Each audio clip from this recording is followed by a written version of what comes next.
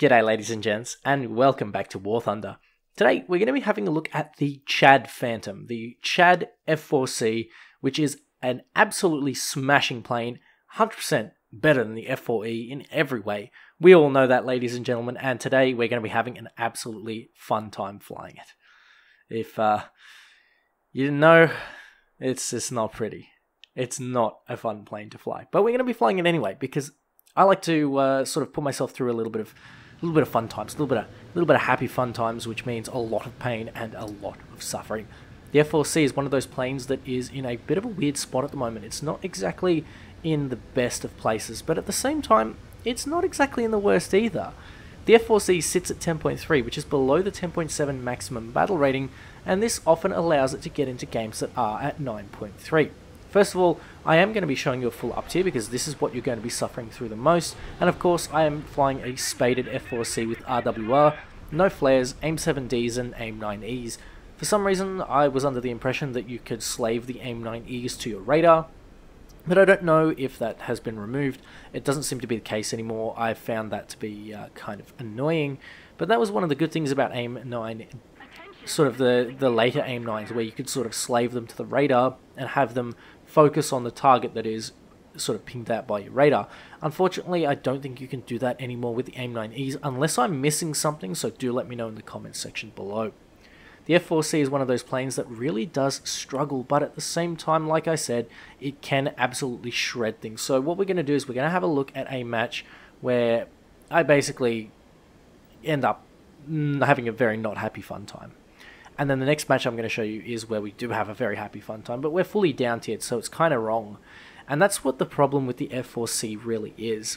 It's just another sort of facet of uh, battle rating compression, and what happens when you have too many aircraft of a certain power level uh, within a certain BR range. Now, I'm talking here between 10.7 and 9.7 being a little bit too more on the or too on the compressed side, in my opinion. I think there's a lot to be expanded upon, but in the same vein, we kind of need a couple more planes to fill out those battle ratings. Kind of before Gaijin even even budges, because they have a little bit of a hesitation towards expanding the battle ratings when they don't have a lot of aircraft at those battle ratings. So, for example, at 10.7 or 10.3. Now, in this case here, we're going to be having a look at how I play out the Phantom. And in this situation here, I'm going to go for the altitude because remember, even though you're facing things that are basically better than you in most ways, you still have the AIM-7s, and whilst they're quite not the AIM-7Es, they are definitely still able to do a lot of damage. Now, this particular run here, I'm looking for targets where the enemy is climbing. So hopefully I can get someone that is not paying attention or is climbing or maybe doesn't have RWR and is sitting at altitude. Personally, if you don't have RWR, I believe that you shouldn't be sitting at altitude. I think it's very risky, and I think you shouldn't be taking that risk because it is not a fun time. I spot someone there at 6 kilometers. I lead the AIM 7, fire it off, and it seems to be on its merry way. Looking at a 5 kilometer closing distance there on a MiG 21 MF, and I see another missile up the top there being sent out by something that I don't really know. I've managed to lock the target. I'm going to lead the next AIM-7 and it is a Mirage. Unfortunately, it looks like this AIM-7 isn't really going to be tracking and now I'm within 3 kilometers so it's starting to get a little bit hairy on the side of the uh, AIM-7s. So what I should be doing here is switching to the AIM-9Es there. Got an AIM-9E looking there pretty at that Mirage. I don't think he's paying attention and I managed to send it on the way and that is going to land me a nice little hit there.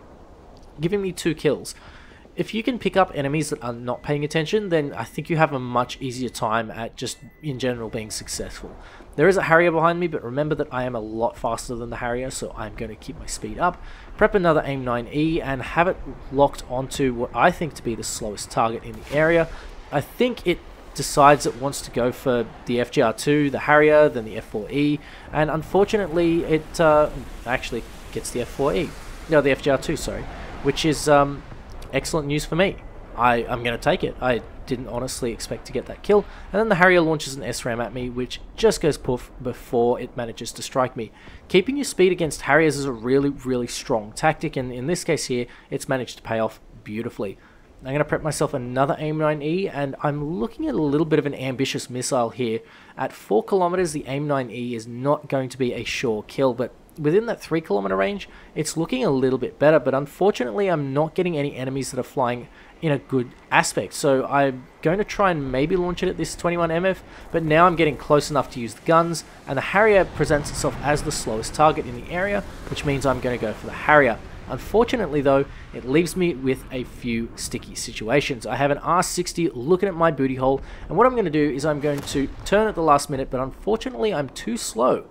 However, the R60 doesn't quite strike me enough. It has crippled me sort of enough to basically make me easy food. I can't turn, I can't do anything, and this next one is going to finish me off, which is a very sad day. All in all, four kills, basically top of the team, and uh, big fat L to me.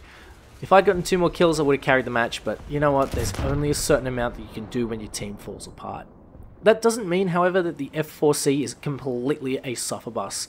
Unfortunately, and for, for your enemies, unfortunately for you, you get down tiers. Now, personally, I feel like these down tiers are a little bit on the dirty side, which is why I oppose the F4C going to 10.3 in the first place, but it's here and we might as well abuse it. Why don't, why don't we sort of sneak out and, and use those AIM 7s where basically no one else at this BR has RWR. It, it feels very, very dirty, but you know what?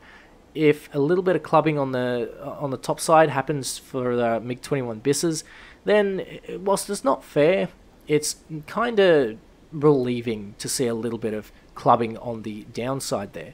Doesn't make it right, it doesn't make it good, but it does sort of make up for those times where you're a little bit on the short changed side. Now, in the F4C, when I'm top tier, I'm going to be climbing straight into the enemy because I have no fear. There's absolutely no fear to be had here. The only thing at this battle rating that can stand up to you in terms of its uh, basically head-on capabilities at high altitudes like this is the F104S with AIM-7Es, but it only gets two of them and you can pretty much see it from a long way away. It looks like, however, we're not really going to be fighting at high altitude here. Most of the enemies have seemed to have gone towards the deck, which gives me a fairly good opportunity to have some uh, seal clubbing fun, which is feeling very wrong still.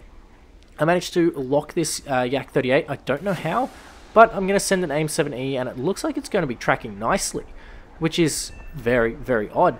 The F5 presents itself as a beautiful target in front of me for some reason, and I managed to BRT its way back to the hangar. Now, in this situation here, I have a Yak 38 behind me and another Yak 38 about 5 kilometers behind me. The one behind me at 5 kilometers isn't a real threat, but having a look at that R60 is a little bit worrying. What I'm going to do is I'm going to roll, and by rolling what you do is you basically throw the missile off bleeding it of its speed when it makes those turns. If it's going to be turning, it's going to try and lead in front, but if you continue to sort of adjust your turns, it's going to overcompensate, and as a result, you're going to be able to throw it off. Speaking of throwing it off, the F5 is uh, presenting itself, another one presenting itself, which is very convenient. Unfortunately, no guns for me, but I get to prep myself an AIM-9E for this MiG-21. I think it's a MiG-21F, but I can't really be too sure. It could have R60s, and you never know. So I'm looking at this uh, Yak-38 here, who's looking very juicy, but unfortunately I'm not able to get a lock.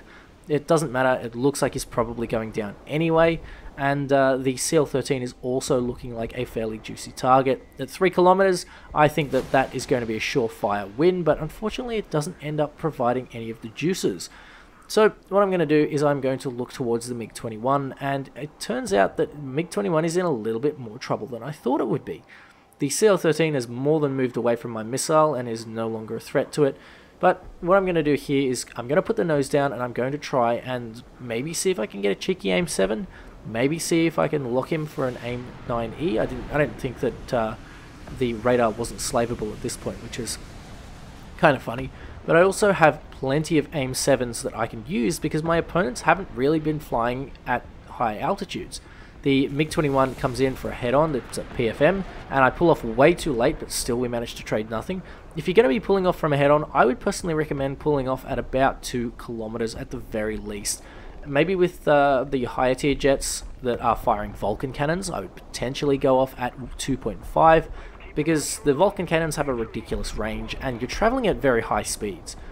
Anyway, moving on, we have Trump Airlines 69 having a look at my little AIM-9E. He uh, spots my little friend and decides to put himself into a turn, which gives me plenty of time to uh, lead the shots and potentially get some guns on, but unfortunately no dice, and I go into a vertical here as a little bit of a, a lag roll. Now he can't really follow me up, unless he is willing to sacrifice his life for Pakistan, and unfortunately that's exactly what he does with a cheeky little pilot snipe and uh, a missile that kind of goes nowhere. Thankfully, not into my booty.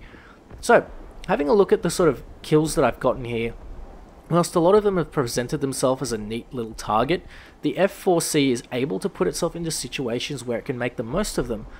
However, is this really fair?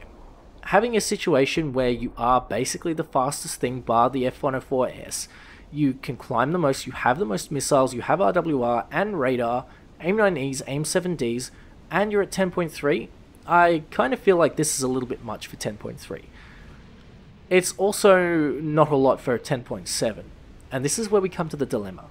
Should this plane be at a battle rating where it clubs, or should it be at a battle rating where it only suffers?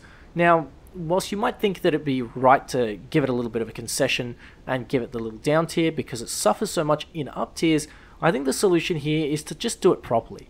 Gaijin should realistically increase the battle ratings to 10 or to 11.0 and there is where lies your solution. It's not to up tier or to down tier a vehicle because it's performing poorly. In this case, you can clearly see that this plane is uh, performing excessively well in a down tier and performing excessively poorly in an up tier. This is a classic case of battle rating compression. And the fact that Gaijin doesn't see this is kind of concerning. The fact that I can see this as a player with no experience in game design, with no experience in game balancing, except for, I don't know, 35,000 matches of War Thunder, I think that this is kind of worrying because the fact that they won't do it means that there's some sort of either inability an inability to see, or there's some sort of willingness or lack of willingness to improve it for certain reasons. I don't think it's monetary. I think that they're very obsessed with their queue times and they want to keep it that way. Personally, I see queue times as a product of a good game. If people want to play a good game, they're going to wait for the queue times. Not only that, but if queue times are good, it means that the balance is good. We saw this when battle rating decompression happened when the F4C was introduced, when we got a 10.3 and when we got a 10.7. We saw this. It was patently obvious. I don't think it's really hit Gaijin's noggins yet, which is really unfortunate because, in my opinion, there are just a couple of small steps that could be taken to alleviate the pressure. Anyway, ladies and gents, that'll do it for today. Thank you very much for watching. I sincerely appreciate your time. Check out my links in the description below, leave a like and a comment for the algorithm. Take care, and I'll catch you next time.